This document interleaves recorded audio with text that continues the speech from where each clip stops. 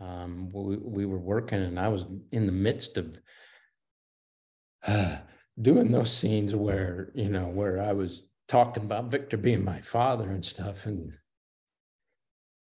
you know, it's just kind of hit you hard.